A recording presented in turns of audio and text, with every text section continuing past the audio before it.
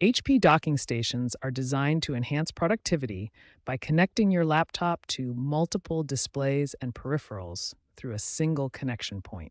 When your docking station stops working, the problem typically falls into four main categories. Understanding these categories helps you troubleshoot more effectively. Before diving into complex troubleshooting, start with these three fundamental steps. These simple actions resolve many docking station issues quickly. HP docking stations commonly experience four specific types of problems. Each requires a different troubleshooting approach to resolve effectively. Understanding these fundamental causes and starting with basic troubleshooting steps provides the foundation for effectively resolving HP docking station problems. The first step in troubleshooting your HP docking station is to update all relevant drivers.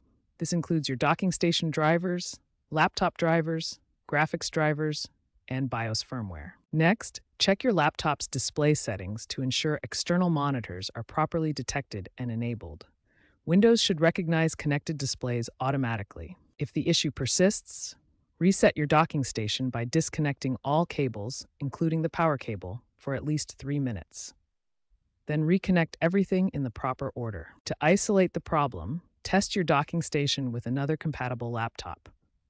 This helps determine if the issue is with the docking station itself or your specific laptop configuration. Connect your monitor directly to your laptop to confirm the monitor is working correctly.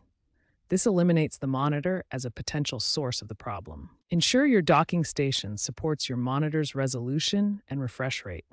Also verify that your laptop can handle multiple external displays and check Thunderbolt software settings for USB issues. If problems persist, consult HP's support website for specific troubleshooting guides, software updates, and diagnostic tools. HP provides comprehensive resources for resolving docking station issues. Keep in mind that wireless docking stations are becoming more common, offering increased flexibility. USB C and Thunderbolt connections are dominating the market with faster data transfer speeds and simplified connectivity.